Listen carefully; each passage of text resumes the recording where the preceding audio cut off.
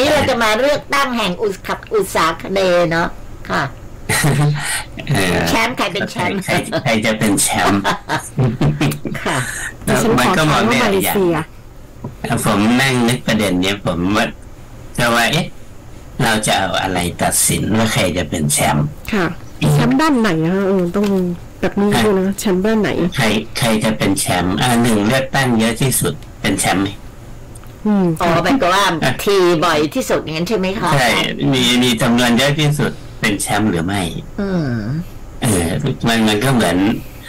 เหมือนเสมือนหนึ่งว่าเออคงเสรีเยอะเนาะคงเลือกกันบ่อยไม่กี่ปีนี้น่าจะเป็นมาเลเซียนะเออเลือกตั้งบ่อยหรือหรือถ้ามองในแง่หนึ่งก็คือยุบสภาบ่อยค่ะก็ เลือกเยอะอ่าเห็นไหมค่ะเหมือนเปลี่ยนญี่นายกบ่อยอะไรอย่างเงี้ยเนาะอ่าอ่าอย่างอย่างญี่ปุ่นเนี่ยมีนายกรัฐมนตรีเยอะที่สุดอ่าใช่ อันนี้ต้องเคยเอาถ้าเป็นอาเซียนพลัสนะเอออันนี้เปลี่ยนนายกบ่อยมากอืมนะครับอ่าแต่เขาก็มีจริยธรรมสูงในแง่ที่ว่าถ้าใครไปเจออะไรที่แปลกปลอม สีเทาของตัวเอง เขาก็จะลาออก ค่ะนะครับอ่าแต่ทีนี้ถ้ามองในบ้านเรา เจอนิดเจอหน่อยไม่เป็นไรไอ้ไอ้เข้าใจผิดมันเป็นเมียคนนั้นมันเป็นเมียคนนี้ค่ะอืมเขาย้อมมาอะไรเนี่ยสารพัดเนี่ยนะครับอ่าไม่ออกเนี่ยนั่งอยู่ที่เดิมอ่า ถ้ามองในแง่หนึ่งอ่าแต่ถ้ามองในอีกในแง่หนึ่งก็คือว่า เอ๊ะแล้วใครใครอยู่ในตำแหน่งนานที่สุด เป็นแชมป์ไหมอ่าเป็นแชมป์หรือไม่ ถ้าอยู่ในตำแหน่งนานที่สุดอ่าค่ะหรือ ถ้ามองในแง่แบบตะวันตกก็คือหนึ่งนะ ต้องมีอิสระในการตัดสินใจสองมีพรรคการเมืองที่แข่งขันกันโดยเสรีนะครับ แล้วก็สามนะครับ มีความบริสุทธิ์ในแง่ของไม่มีการซื้อเสียงค่ะไม่มีการขายเสียงเอออันนี้ถ้าเอาแบบอย่างนี้เลยเนี่ย สงสัยจะไม่มีแชมป์น่าจะตัดสินกันยากนะคะเห็นไหมฮะคือคือถ้ามองอย่างนี้นะครับ แต่ถ้ามองเพียงแค่รูปแบบอ่าถ้ามองเพียงแค่รูปแบบว่าอ่าขอให้มีการเลือกตั้งเท่านั้นนะครับ แต่ทีนี้ถ้ามองในแง่ของระยะยาวและผลที่เกิดจากการเลือกตั้งนะครับอ่านโยบายต่างๆที่ขายออกมานั้นเนี่ยถ้าเป็นสิ่งที่กระทำไม่ได้ แต่ก็โฆษณาไปแล้วเหมือนขายสินค้าใช่ไหมฮะ มันก็แสดงขายของเนี่ยแล้วเราซื้อมาเหมือนคุณมุจดินซื้อออนไลน์ส่งของผิดมาให้ตลอดค่ะอะไรอย่างนี้เป็นต้นนะครับ ซึ่งอันนั้นมันเกิดพันธะเกิดขึ้นแหละแต่ทีนี้ถ้ามองในของการเลือกตั้งเนี่ยกฎหมายไม่กำหนดว่าอันนี้เป็นพันธะหรือไม่เป็นพันธะ แต่กำหนดว่าอันนี้คือซื้อเสียงอันนี้ไม่ใช่ซื้อเสียงอ่าซึ่งมันก็แค่ พลิกนิดเดียวนะครับค่ะก็คือถ้าไปสัญญาว่าจะให้อย่างนั้นให้เงินอย่างนี้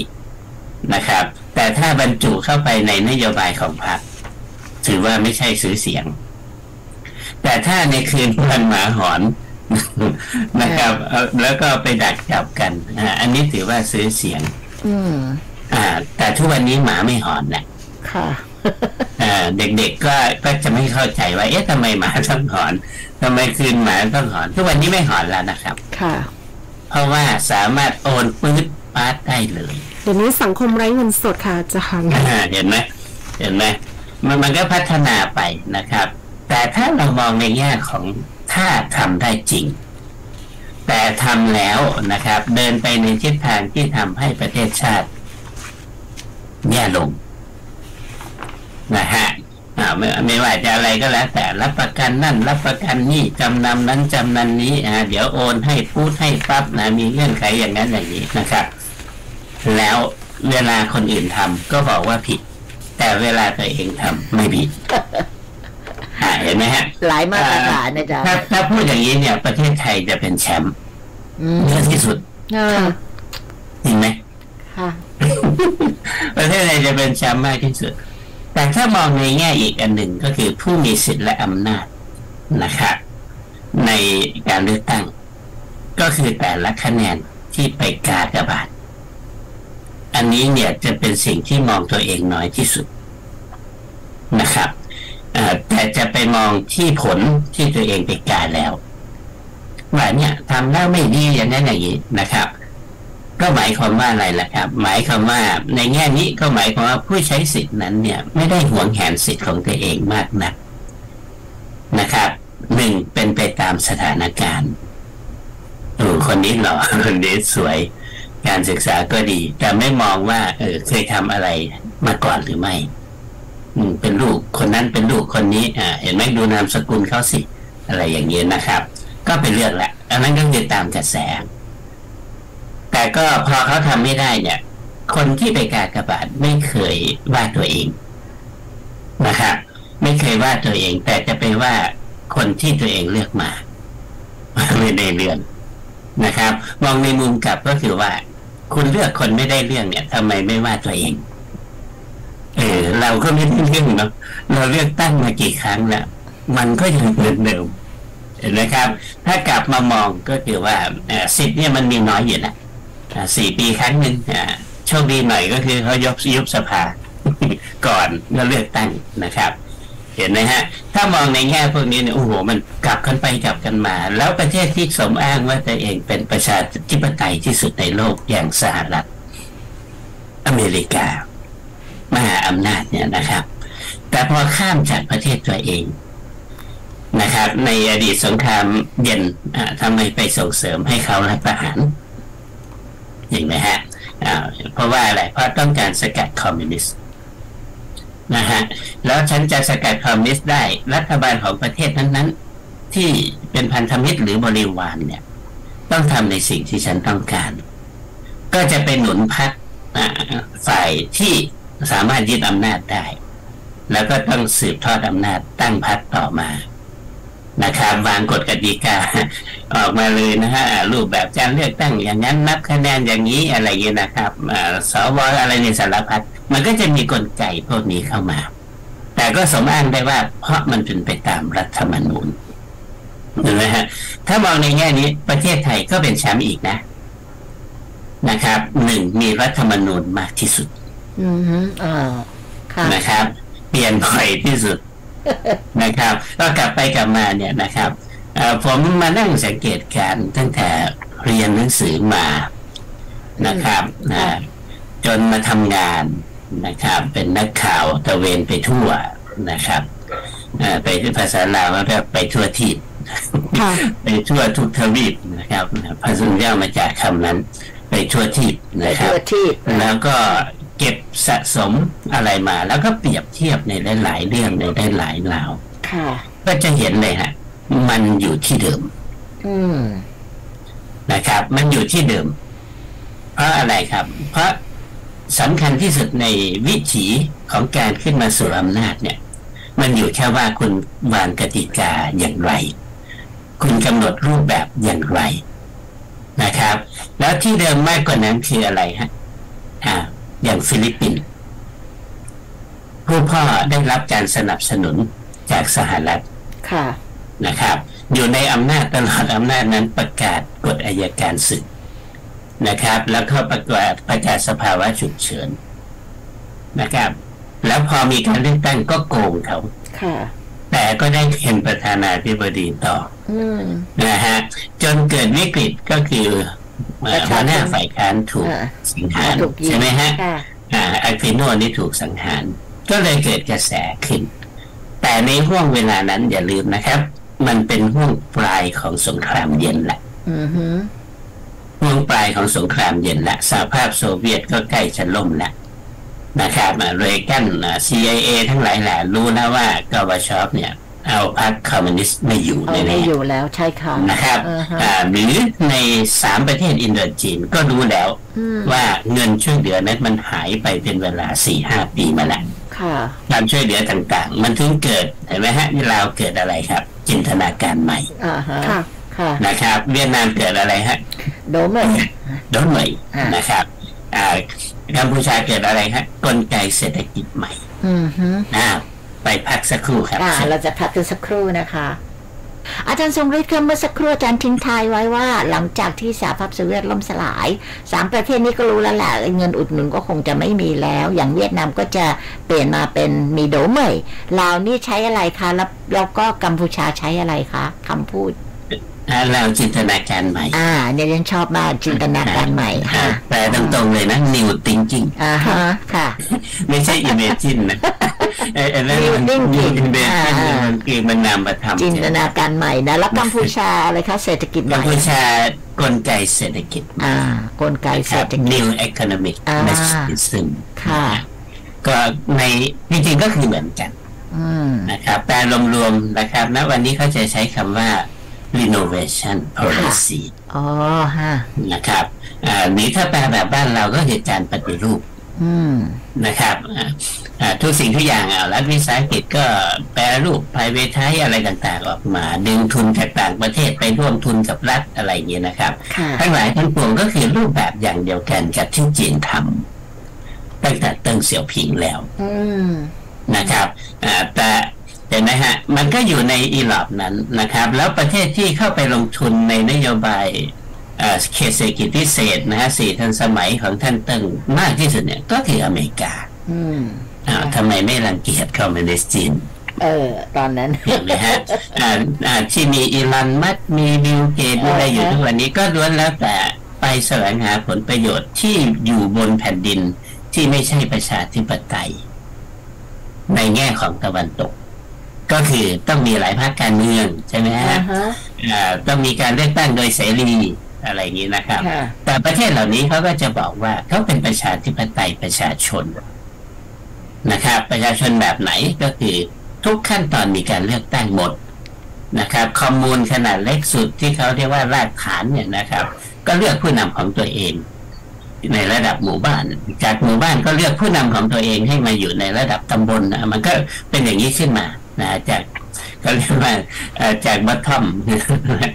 ขึ้นมาเนี่ยนะครับค่ะเขาก็บอกว่ามันก็คือประชาธิปไตยมันเป็นระบบหนึ่ง ซึ่งไม่ต้องหาเสียง แต่มันอยู่ที่ไหนละฮะอยู่ที่ว่าเมื่อพรรคคอมมิวนิสต์จีนกำหนดนะฮะนโยบายเอ่อมี resolution ยังไงมีมติยังไงออกมา ใช่ไหมครับ ก็คัดสรรคนที่มีความสามารถนั้นนะครับขึ้นมา เห็นไหมครับทุกวันนี้เราก็จะเห็นนะที่ผมบอกว่ามันมันอยู่ที่เดิมก็เพราะว่าอะไร ก็เพราะอย่างอย่างฟิลิปปินส์ลูกชายของมาโกสกลับมานะครับค่ะลูกชายของมาโกสกลับมา บนพื้นฐานอะไรฮะ บนพื้นฐานที่ว่าเก็บความแค้นมาด้วยค่ะ ความแค้นนั้นคืออะไร เพราะว่าพ่อเขาเนี่ย ได้รับการหนุนหลังให้มีอำนาจ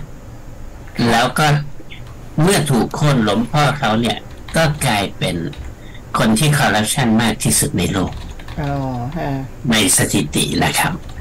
ในสถิติก็คือว่ามีการประเมินนะครับ ว่าทุกสิ่งทุกอย่างที่มาก็สอยู่ในอำนาจนั้นเนี่ยนะครับยี่สิบกว่าปีเนี่ย มากกว่าสองหมื่นล้านดอลลาร์สหรัฐในยุคนั้นหมื่นล้านดอลลาร์คือมันมหาศาลมากนะครับ มหาศาลถึงขนาดไหนถึงขนาดว่าแม่ของ อะควิโนน้อยเนี่ยเอ่อแม่ของมาคอสน้อยเนี่ยค่ะนะครับจูเนียร์เนี่ย มีตึกไว้เพื่อเก็บรองเท้า high heel ค่ะโอ้ ส้นรองเท้าส้นสูงใช่ไหมใช่ค่ะ high เขา heel บอกว่าตอนที่มาร์กอสเนี่ยประชาชนโค่นลงมาหน้าไปแล้วเนี่ย แล้วก็ประชาชนก็โอ้ยบุกเข้าไปในมาลากันยังอะไรเนี้ย โอ้ยมีรองเท้าเป็นกี่พันกี่คู่เนี่ยสามสี่พันก็พันคู่ที่มีการ record ไว้นะครับว่านับแล้วเนี่ยได้เจ็ดพันคู่ โอ้โหอ่าใส่หมดไหมเนี่ยไม่คือแสดงว่าไม่รู้อีกตึกหนึ่งมีมากกว่านี้ค่ะนะครับค่ะ แล้วพอถูกโค่นเนี่ยหนีไปอยู่ไหนล่ะฮะก็หนีไปอยู่ที่ฮาวายสหรัฐใช่ไหมฮาวายอ่แล้วก็อยู่โดนเล่นงาน โดยกฎหมายว่าด้วยการคอร์รัปชันค่ะนะครับ จนมาคอสที่ตอมใจเสียชีวิตนะครับ แต่คนที่ผูกความแค้นไว้ทุกวันนี้คือใครนะฮะ แม่เขายังอยู่นะเออแม่เขาอยู่นะครับอ่ามาก็เนี่ยนางอีก็ไลยังด้ายัมางอยู่ก็คือเนี่ยก็ยังเป็นประธานาธิบดีเอนะออ่า เห็นไหมครับ เพราะฉะนั้นเราจะเห็นแต่อเมริกาทุกวันนี้กลับไปคือพยายาม ที่จะไปขุนเขาขึ้นมาอีก ใช่ ใช้คำนี้นะครับ ขุนขึ้นมาเพราะว่าอะไร เพราะว่าฉันจะกลับไปตั้งฐานทัพเออนี่เห็นไหมครับซูบิกเบย์เนี่ย สมัยสงครามเวียดนามเนี่ยซูบิกนี่เป็นฐานทัพที่ใหญ่ที่สุดค่ะในย่านนี้นะครับค่ะเอ่อเรือลบอะไรต่าง ๆ เนี่ยของอเมริกาอยู่ที่นี่หมดค่ะ แล้วก็นั่นแหละฮะ เวลาเขาขนไอ้ลูกระบงระเบิดมาเขาก็จะเอาไปไว้ตรงนั้นก่อน แล้วก็ลำเลียงมาที่ไหนละฮะอ่าลำเลียงมาก็เรือต่อมาที่เนี่ยบ้านเราก็คืออู่ตะเภาจากอู่ตะเภาเนี่ยก็ขนลำเลียงใส่รถบรรทุกนะครับ เอาไปที่สนามบินต่างๆทั้งอุดรนะฮะตาครีโคราชอุบลอะไรต่างๆ จากประเทศไทยไปถล่มสามประเทศอินโดจีน ก็คือเวียดนามลาวกัมพูชาเนี่ย มากกว่าห้าแสนแปดหมื่นเที่ยวบินโอ้โหค่ะในช่วงสิบปีของการทิ้งระเบิดนะครับถ้านึกไม่ออกก็เริ่มเขาเริ่มกันจริงๆทิ้งระเบิดก็หนึ่งเก้าหกสี่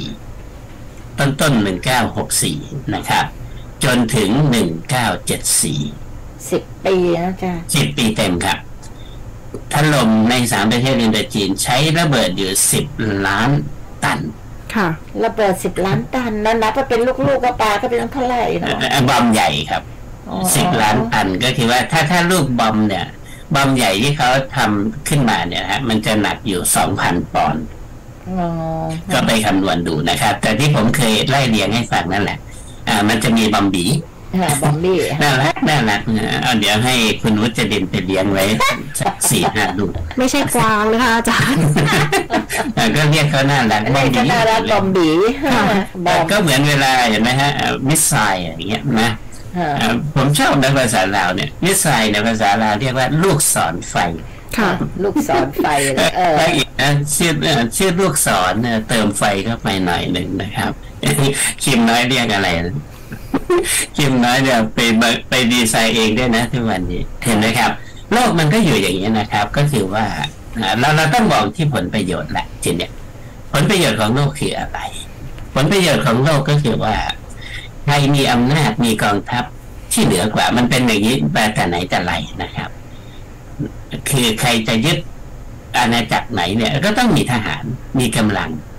นะครับ ในยุคนี้เนี่ย ครจะมีอิทธิพลในเรื่องของอาแสนยานุภาพมากที่สุด ก็คือต้องมีอาวุธที่ทันสมัยที่สุด เห็นไหมครับอ่าในโลกนี้มีใครล่ะฮะก็มีสหรัฐรัฐสมัยก่อนก็สู้กับสหภาพโซเวียตค่ะนะครับอ่าแต่ทีนี้สหภาพโซเวียตล่มสลาย แต่ไม่ได้หมายความว่าปรมาณูล่มไปด้วยนะครับค่ะระเบิดปรมาณูยังอยู่นะครับ แล้วก็รัสเซียเนี่ยก็ฉลาดพอ ก็คืออาณาจักรเดิมของตัวเองพื้นที่เดิมของตัวเองเนี่ยเก็บเกลี้ยงเลยนะครับอ่าระเบิดปรมาณูที่เคยมีเนี่ยนะฮะอยู่ในในยูเครนอย่างเงี้ยนะฮะอ่าฮะถอดสลักนะฮะเป็นเศษเหล็กไปหมดแล้วอ่าเหมือนเรือเหมือนเรือดำน้ำนั่นแหละเรือดำน้ำเนี่ยผลิตอยู่ที่ยูเครนนะครับ สมัยก่อนค่ะถ้าเรือเคียบเนี่ยนะฮะเมืองเคียบเนี่ยเขาเรียกอืมบางก็ส่วนใหญ่เขาจะเรียกเคอีฟเคอีฟเนี่ยนะฮะค่ะเอ่อล้วนแล้วแต่เป็นเรือดำน้อือ๋อมนะำ นะครับถัดมานะฮะ จีนก็ซื้อเศษเหล็กจากยูเครนอ๋อแล้วมาต่อที่เอเป็นงเรือดำน้ำนั่นแหละบอกว่าบอกว่าเดี๋ยวจะเอาไปหลอมเออแต่จริงๆเนี่ยจีนให้นักวิจัยของตัวเองถอดออกมาแล้วไปมาศึกถอษาดออกมาแต่ละเออแต่ละชิ้น แล้วเขียนไว้อย่างละเอียดว่าชิ้นนี้คืออันนี้ชิ้นนี้คืออันนี้อ๋อทุกวันนี้จีนทำเรือดำน้ำเองได้ ค่ะนะครับ เห็นไหมฮะพอมันเป็นอย่างนี้เสร็จปุ๊บน่ะ คิมน้อยก็มองไม่ผิดนะที่เขาจะมองว่าเขามีมิสไซล์เยอะอืมนะครับอะค่ะคิมน้อยมีเรือดำน้ำไม่ใช่น้อยนะครับ ทุกวันนี้ แต่ถ้ามองในแง่หนึ่งก็คือว่า เอ๊ะคุณมีพวกนี้เยอะเนี่ย แต่คนของคุณเนี่ยขาดอาหารหนักค่ะนะครับขาดอาหารหนักแล้วไปสร้างอะไรฮะยิงมิสไซล์ทีนึงออกมาฉลองกันทั้งประเทศนะครับ แล้วจริง ๆ คนเกาหลีเหนือเต้นอย่างนี้ทุกคนไหมอะอืมไม่มีทางหรอกครับ ในขณะที่ท้องคุณยังร้องนะครับ เพียงแต่ว่าคุณไม่สามารถที่จะพูดอะไรได้ เพราะว่าคนที่อยู่ล้อมรอบซึ่งกันและกันเองเนี่ย ก็ไม่เชื่อซึ่งกันและกันอืมเพราะอะไรครับ เพราะความอดอยากนั้นเนี่ย มันทำให้คนสามารถที่จะหักหลังกันได้ ใช่ค่ะอะคนนี้วิพากษ์วิจารณ์คิมน้อยเห็นไหมฮะเขาก็จะแจ้งกันเป็นขั้นตอนเลยนะ เนี่ยคนนี้คนนี้บ้านนี้บ้านนี้อ่าผู้ท่านผู้นำว่าเป็นอย่างนั้นอย่างนี้อ่าประเด็จการอย่างนี้เขาก็จะรายงานกันขึ้นไปนะครับวันถัดมาจับไปปจัระบหาเลรยโอ้โหค่ะแล้วทีนี้เอ่อคุณวุฒิดินกับคุณวีรวันนั่งอยู่ด้วยกันนะฮะสมมุติว่ามีเจ้าหน้าที่คนเดียวกัน แล้วโหดมากเนี่ยนะครับจะกล้านินทาไหมล่ะ ก็มีแต่ ดอกไม้เท่านั้นใช่ค่ะที่จะให้ซึ่งกันและกันมีภาษารายงานทุกสิ่งทุกอย่างก็จะเอองามสใช่ไหมวยฮะงามไปหมดดีไปหมก็ดถึงเรียกว่ารายงานดอกไม้ค่ะรายงานดอกไม้ก็คือเออประสบความสำเร็จเป็นอย่างดีทุกสิ่งทุกอย่างออกมาดีหมดท่านผู้นำประเสริฐเลิศหรูนะครับเห็นไหมฮะเอ่อพาลูกสาวออกมาโชว์อะไรเงี้ยมีชื่นชมโอ้เป็นตาหักเนาะเออนะฮะอย่างนี้เลยนะครับ ไม่มีใครบอกว่าน่าเกลียดจัง แต่ลูกสาวแกน่ารักนะคะอะก็ใช่ไงแต่ถ้าคือคนที่มีปมอ่อคือคุณทำอย่างนั้นอย่างนี้นะครับ มันก็เลยกลายเป็นสิ่งที่หล่อหลอมคนอยู่ในสังคมอย่างนั้นนะฮะจำได้ไหมที่ผมเคยเล่าให้ฟังว่ามันมีรายการท่องเที่ยวหนึ่งของฝรั่งเศสเขาอนุญาตให้ไปถ่ายทำสถานที่ท่องเที่ยวในเกาหลีเหนือ นะครับ ซึ่งแน่นอนแหละอ่าประเทศเหล่านี้นะครับ ไม่ว่าจะเป็นจีนนะประเทศสังคมนิยมเนี่ยเขาจะสตริกมากเรื่องข้อมูลข่าวสาร เพราะเขาถือว่ามันคือความมั่นคงแห่งชาตินะครับ แล้วใครทำหรือว่าใครใครให้ข้อมูลโดยไม่ได้รับอนุมัติเนี่ยเอ่ออนุมัติเนี่ยนะฮะเขาถือว่าคนคนนั้นเนี่ยทรยศค่ะอืมโทษหนักสุดคือประหารชีวิตนะครับค่ะ นั่นแหละเราถึงจะเห็นเนี่ยฮะว่าในในโลกสังคมข่าวสารในโลกโลกที่เป็นสังคมนิยมหรือคอมมิวนิสต์ตั้งแต่ยุคสงครามเย็น ก็คือสิ้นสุดสงครามโลกครั้งที่สองเนี่ยมันเป็นอะไรที่เข้มงวดมากนะครับออไอ้หนุ่มฝรั่งเศสที่ไปถ่ายทำเรื่องท่องเที่ยวนะครับคือคือพอไปถึงถึงเกาหลีเหนือเนี่ย จากที่เฮฮาปาร์ตี้เนี่ยนะครับกลายเป็นสุภาพเรียบร้อย นะครับเพราะว่าประเทศนี้เนี่ย ไม่มีใครยิ้มเลยอืมนะครับอาจจะไปพูดทักทายอะไรเนี่ยเขาก็จัดตั้งกันมาแล้วอ่าคำว่าจัดตั้งหมายความว่ามอบหมายมาแล้วว่า ให้คนเนี้ยมาประกอบฉากให้เขาหน่อยค่ะอ่าพูดได้แค่นี้นะเท่านี้นะอ่าห้ามออกนอกสคริปต์อ่าถ้าเขาถามเรื่องการอยู่การกินเขาบอกว่าดีอะไรนี่นะสารพัดนี่นะครับก็ก็จะไปเห็นแต่ภาพที่สวยงาม นะครับอ่าบ้านก็เป็นแบบวิลล่าสวยๆเพราะว่าเป็นคนของพรรคแรงงานอะไรเงี้ยนะครับอ่าเป็นคนที่ทำหน้าที่อย่างดีนะท่านผู้นำมอบคอนโดให้อะไรต่างๆ สถานที่ท่องเที่ยวก็ต้องสวยงาม ไปเห็นมาหมดเลยนะครับ และทีนี้มีอยู่วันหนึ่งอ่าเจ้าหนุ่มคนเนี้ยมันก็หามันหาอะไรที่จะเป็นจุดขายยากนะอืมเพราะว่ามันก็เหมือนกับการไปถ่ายทำตามสคริปต์ที่เกาหลีเหนือวางไว้ให้ เท่านั้นเอ่อ มันก็คือการโปรโมทนะครับเขาพยายามที่จะหาจุดเขาก็เลยไปถามจริง ๆ ก็คือตำรวจนอกเครื่องแบบนั่นแหละ ที่พูดภาษาอังกฤษได้ ภาษาฝรั่งเศสได้ แล้วก็มีไกด์สาวคนหนึ่งนะครับ แต่ก็สวยจริงนะเขาก็ต้องคัดเลือกคนสวยที่สุดนั่นแหละมาใช่ไหมฮะก็เพื่อที่จะได้โชว์ให้เห็นว่าเห็นไหมเนี่ย คนประเทศเขาเนี่ยไม่ใช่ว่าอ่าจะไม่มีความรู้จะไม่สวยไม่งามนะครับ มันก็คือพับประกันดา นะครับไอ้หนุ่มฝรั่งเศสคนนี้ก็ไปพับประกันดาให้เขาถ้าไม่มีตัวตนของตัวเองอยู่ในนั้นนะฮะมันก็เลยกลายเป็นว่าอยู่ๆเขาก็ไปถามตำรวจนอกเครื่องแบบที่รูปหล่อของเกาหลีเหนือนะค่ะว่าประเทศนี้มีเกย์ไหมอ้าวค่ะประเทศนี้มีเกย์ไหมเอออ่าเอ่อตำรวจเกาหลีเหนือคนเนี้ยหน้าเหลือเลยนะอืมเขาไม่เข้าใจค่ะเกย์คืออะไร เขาไม่เข้าใจว่าเกย์คืออะไรนะครับ เห็นไหมนี่คือการควบคุมสื่อนะครับ ไม่ให้เห็นข้างนอกเลยอ่าเราก็จะเห็นเห็นไหมเวลานักผู้ประกาศข่าวหญิงอาวุโสของเกาหลีเหนือค่ะออกมาในรายการทีวีนั่นเนี่ยโอ้ยขยมไปด้วยนะพูดไปด้วยโอ้โหนะฮะจะขนาดนั้นอ่าตำรวจเกาหลีเหนือเนี่ย เขาไม่รู้จักคำว่าเกย์ เขาก็เลยถามว่ามันคืออะไร มันคืออะไรอ่านะครับอ่าอ่าไอ้หนุ่มฝรั่งเศสก็เลยบอกว่า ก็ผู้ชายกับผู้ชายไง เออฮะก็รู้ว่าผู้ชายเนี่ยกับผู้ชายแล้วมันอะไรแล้วล่ะยังไงล่ะ เออเออก็ทำอย่างนั้นกันไง เออไอ้หนุ่มนี่มันอันนี้อ้วก็กงแตงกเลยนะเออมันทำได้ยังไงเห็นไหมครับ นี่คืออิทธิพลของสังคมโลกข่าวสารนะครับ เช่นเดียวกันกับที่เราเสพสื่อตะวันตกอยู่ทุกวันนี้ แล้วผมก็ถามบ่อยๆเห็นไหมฮะ เวลาเราดูหนังฮอลลีวูดในสงครามเวียดนามเนี่ย เราลุ้นให้ใครไม่ตายมันที่เวียดทนาหามรอเมริกาต้องไม่ตายแรมโบ้ต้องอยู่ถึงเออทำไมดิฉันก็ข้างเวียดนามอ้าวไม่รู้แหละเอ่อคุณอาจจะเกิดผิดยุคนะเออเพราะว่าอะไรครับ เราอยู่ในเสพสื่อใช่อะไรใช่ที่ค่ะที่เป็นเอ่อเรื่องของฮีโร่ฮอลลีวูดเออสร้างขึ้นมาเนี่ยใช่มันแล้วแต่ให้ GI เป็นฮีโร่ถูกต้องใช่สารอเมนะริครับกันต้องป็นแล้วเราก็ฮีโปฏิเสธเลยนะ เราไม่เคยรับรู้มาก่อนว่า การที่เราดูหนังพวกเนี้ย GI กองทัพอเมริกา คือผู้ลุกลาน อืม ใช่ เออนะครับ